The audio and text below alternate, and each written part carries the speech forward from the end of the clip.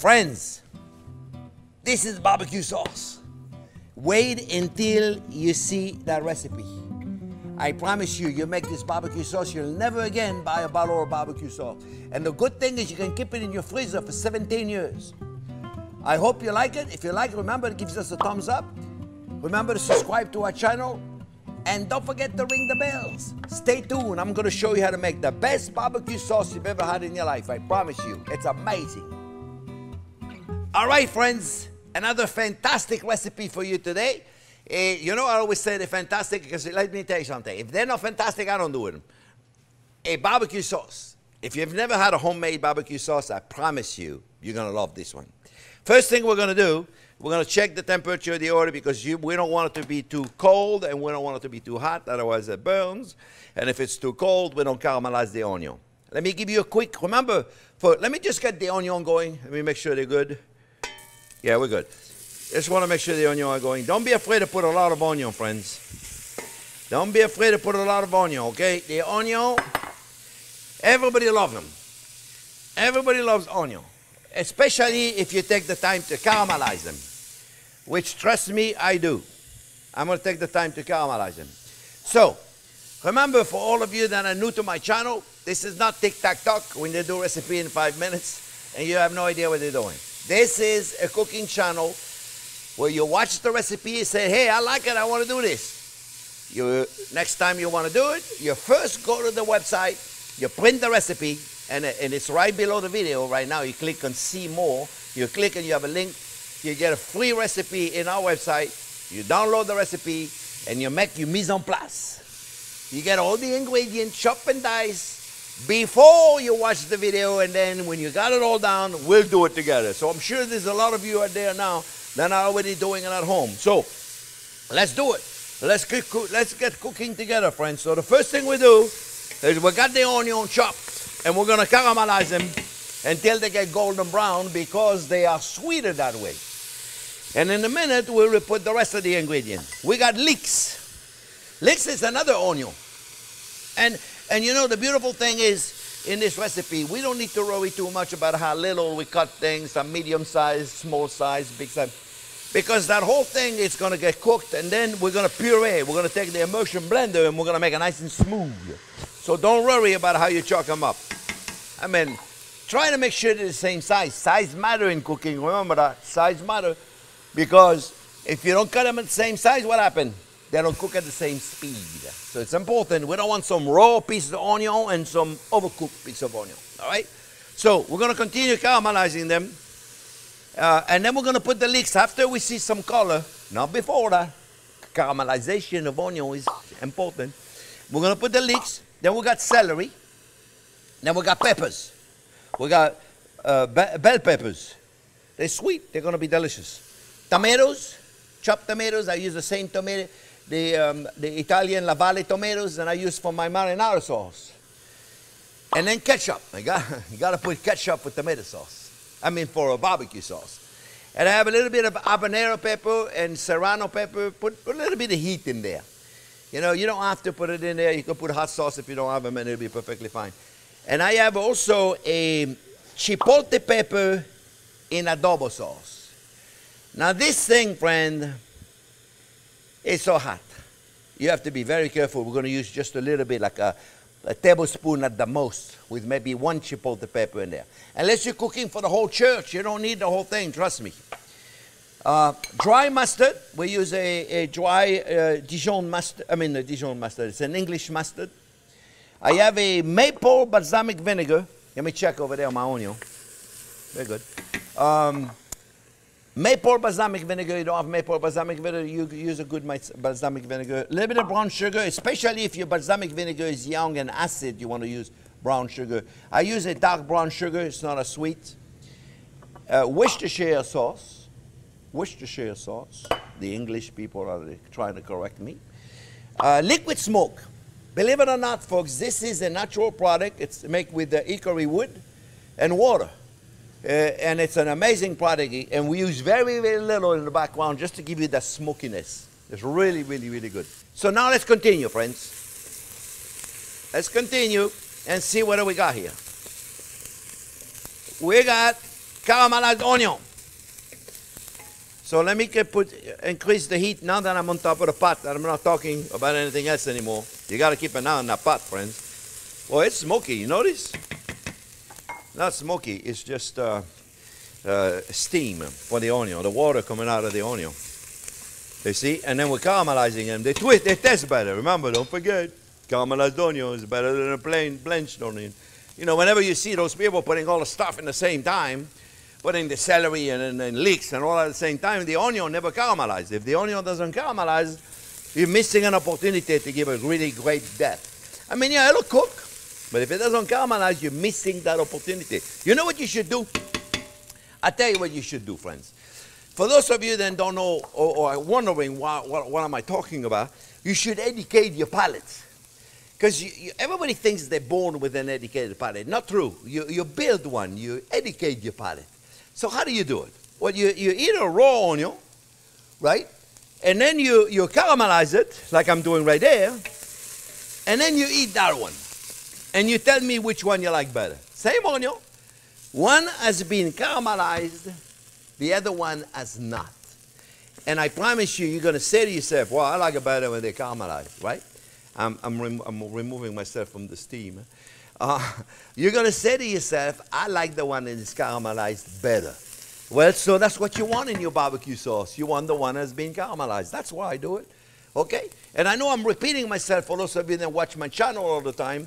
But hey, nothing wrong with that. More you hear, more you get it. All right? Look, my whole purpose in life right now is to teach America how to cook, to teach the world how to cook. We got people in Switzerland you know, we got a lot of people in Australia. Australia, a lot of Australians are watching our show, and this is a wonderful thing. We got people all over the world that are watching our show. In India, in um, in Spain. Oh boy, should have heard them when I did the paella. This is not a paella. oh boy, the um, Spanish recipe police was on me with this man. Let me tell you, holy macaroni. Uh, oh, you know what I forgot, friends? is uh, garlic. I forgot garlic. I forgot to take garlic, but lucky me, I should have some in my refrigerator. Let's check it out. Yes, lucky me. I always have garlic. I can't believe I forgot the garlic. You know, sometimes I wonder about me. Uh, measure carefully. Don't worry about it. It's going to be very mild. You're going to say, oh, that's a lot of garlic. I promise you. It's not a lot of garlic, friends, because it's going to be so mild. You know, here, go, give him another one. Nobody's going to complain because it's going to be very nice and mild. And if they complain, just don't invite them again. That's all. They don't complain again next time, I promise you. All right, so a little bit of brown sugar. And the reason why we're putting in a brown sugar is in case your balsamic vinegar is sour. If you're buying a balsamic vinegar at a grocery store, it's going to be four years old. It's going to be pretty sour. Mine is 18 years old, so it's not too sour. So I'm not putting, uh, I'm not worried too much about it, okay? But remember, sweet and sour, gastrique, balancing sweet and sour. It's very important, friends. We'll talk about all this later. I promise you. I'm going to educate all of you. I promise you. Little dry mustard. You notice I measure everything very carefully, yeah? Little Worcestershire sauce. It's the secret to measure everything. Uh, the uh, chipotle pepper in adobo sauce. Look, one spoon.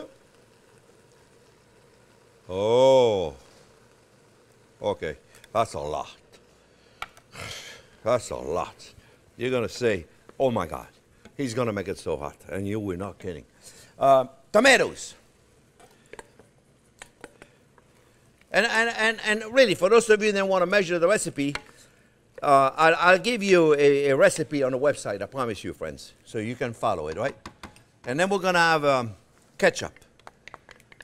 Ketchup. Some people in, in, in, in, uh, in part of the world that don't know about us, I said, this guy's crazy. He's using ketchup. Trust me, you, eat, you eat my barbecue sauce, you don't think I'm crazy. You're going to love it. All right? No, I promise you. And then, you know what you can do with a barbecue sauce, friends? You make it, and you keep it in the freezer. Yeah, yeah, yeah. You don't keep it in the fridge. I mean, maybe you know the one, the one you you buy at the grocery store. You buy it, you put it in the door of the fridge. And, and, and eight years later, it's still good because it's got so much preservative in it. This is not the case. This is fresh stuff. So, so you make it, it's only good for a few days in the fridge. Okay, four or five days in the fridge. You want to keep it, you keep it in a freezer. All right, freezer, freezer, 17 years minimum.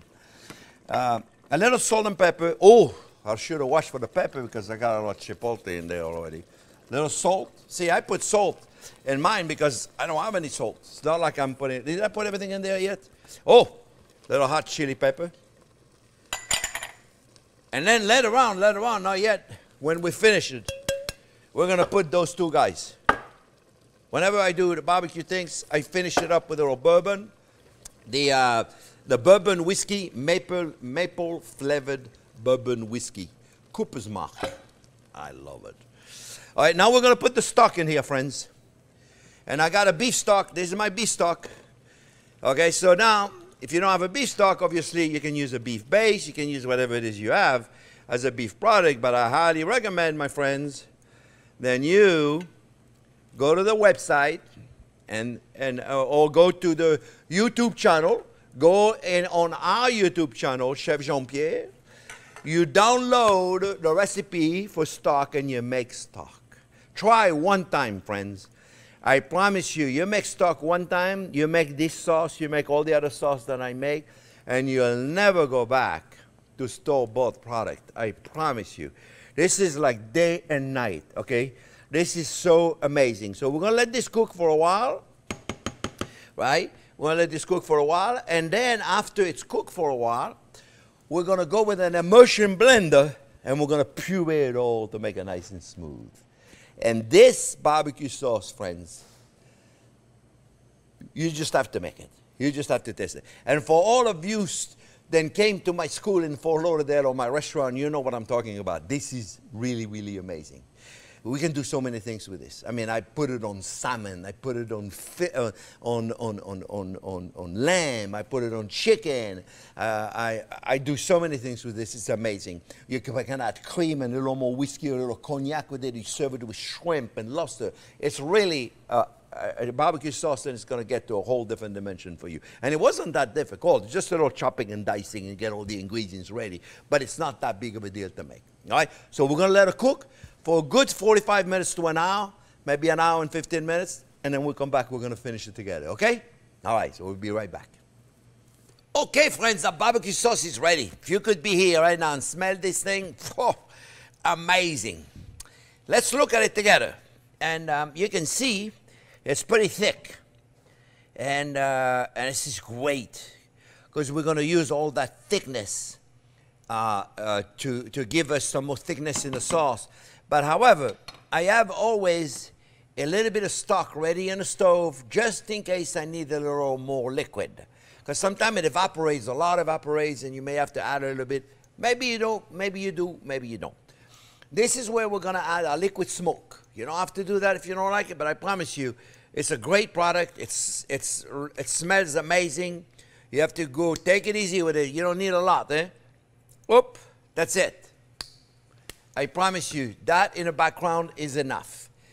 Bourbon, whiskey, you don't have to do that either. I do. put a little bit in there. Don't put too much, no. You just want to make them happy, not drunk. And, uh, and now what we're going to do, folks, we're going to use the immersion blender and we're going to puree this whole thing. Now, this is crucial. This is crucial because we want to get all that juice in all those vegetables, friends. We want to get all that juice in there, you see? This is part of the deal right there. We want to get it nice and smooth. So longer I leave this in here, and smoother it's going to be. I'm kind of tilting my pot, as you can see. And the reason why I'm doing this is so that I don't splatter my whole stove. and it's so we put, put everything and right now it's not looking very good. I don't like it. Meaning i don't like the way it looks because all it looks like granulated. It looks like um, i don't know.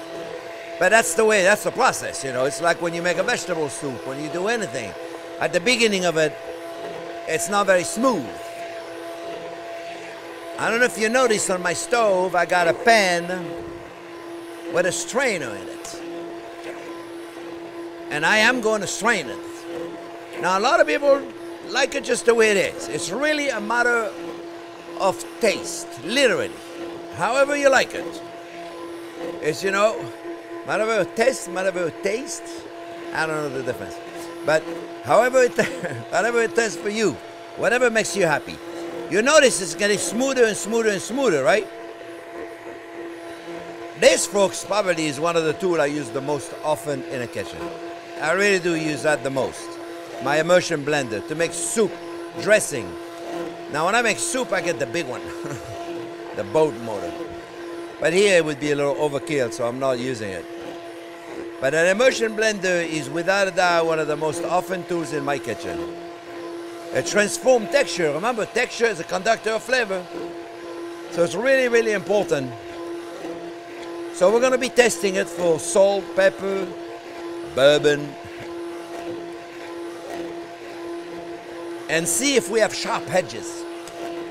Sharp edges and could be left from the Worcestershire sauce, from the mustard, from vinegar if you're having a sour, a sour vinegar. Not me, because my vinegar is sweet. Uh, oh, that's noisy. I didn't realize how noisy it was. So at this point, tell you what we're going to do. We're to take this guy and we're to put it here so we don't mess up the kitchen too much. Stay over here. And, uh, and we're to start testing it, friends. And at this point, if you can get in the pot right now and look, and, and look, and you can see a lot of people are to be satisfied with that texture. It's typical of a barbecue sauce, this texture. I don't like it that way. I like it smoother. So it's really up to you whatever it is you like it's going to be okay for you. You see? It, oh, yeah, baby. Mm. Oh, yeah. Oh, that's delicious. you don't have to do that. but I'm telling you, it's delicious. I think uh, a texture is good. We're going to strain it now at this point. I can put also just a a, a very, very, oop, oop, oop, there you go. Three more oops of the liquid smoke. So I want you to do me a favor when you test something like this, friends. You have to think of the ingredient you put in there and say to yourself, Am I testing this one? Am I testing this one? Am I testing this one? If you're not, then you may have to add a little bit more. You see? Mm. it's hot but it's delicious. Mm-mm-mm. I think we're good on the seasoning. Now I think we got it. I think we got it right there, friends. You watch, you watch, you watch, you watch, you watch. Measure carefully, it's very important. Eh? Follow the recipe. It tells you exactly how much to put in. now they're going to download the recipe and to go, that's not true. Let's see. Mm. Oh yeah. Oh yeah. Oh, okay. Now we're good. Now, now let's go to the next step, friends. And the next step is gonna be to take it to the next level. I'm not gonna do the whole pot. I just wanted to show you. Then you decide what to do. Okay? You make the you make the decision. There's no right or wrong here. It's whatever makes you happy. In a commercial kitchen, we use a uh, a chinois. And I know a lot of you don't have a chinois. So I'm not going to push it, the chinois. Sometime I have to use it because it's really important, but here I can get away with that. This is what we call a, a double mesh strainer or triple mesh strainer. This is really a triple mesh strainer. This is really, really, really, really very thin strainer. I'm going to show you, and then you decide. You decide what you like. All right? So look, I'm going to put it here not exactly what you would want to do. But let's all of us look at this together. And you tell me, let me just turn on my heat off so I don't have to concentrate on nothing else but talking to you about texture. Okay, look, look at this. Okay, you know what? Let's just do this. You look at it. I hope there's enough light in the pot for them to see it. You see right there, folks? This is smooth, smoother than this. To me, this will taste better than this. Uh, this is going to be the same. You, you would think, right? Oh, it's, it's the same ingredient. It's just a different texture. Texture is a conductor of flavor. If I make this smoother silk, it'll taste better than this. You should give it a try. You try this, and then you try this. You'll be amazed. You would be amazed of the difference.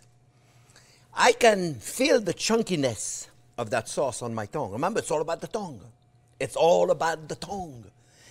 I can feel it, the pieces of vegetables on my tongue here. Here, they almost disappear. I'm going to tell you something crazy now. Don't tell anybody. But when I was in the restaurant business, I would take this and strain it three or four times until it was smooth as silk. And guess what I would do? Don't tell anybody. I would take a little butter and I would put it in here just like this. Just like this. And you know what that did to the sauce? It gave it the je ne sais quoi, smooth a silk. Not only did it give it a sh- little shine to it, but it gave it a, a feeling of velvet on the tongue that is almost sexy. I'm telling you, I'm not kidding. They think I'm crazy. Know? but don't tell anybody. Look, look, look, look, look. Don't tell me. Then this guy right there doesn't look better than this guy right there. Let's see. Look, look, look. Look, I don't want to confuse you. I'm confusing you, sorry. Hold on. You see? This versus this. Now, it may not look like much difference, but I promise you, if you do it another time, pooh, I'm not going to bore you with it, but I promise you. Texture is a conductor of flavor. Don't forget, friends. This is it. I hope you make this barbecue sauce. I promise you, after you make this barbecue sauce, you'll never buy another one at the store. This doesn't even compare. This, it's like a completely different ballpark. I hope you enjoyed this video. I certainly enjoyed doing it for you. Do me a favor, if you like the video, please subscribe to our channel. We need new subscribers. We need you to give us a thumb up and thumb, thumbs up. and please, don't forget to ring the bell. So every Thursday or whenever we put up a new video, you get a little ding on your phone letting us you, letting you know. Thank you so much. I'm glad you watched, and it was a pleasure to cook for you. We'll see you next week.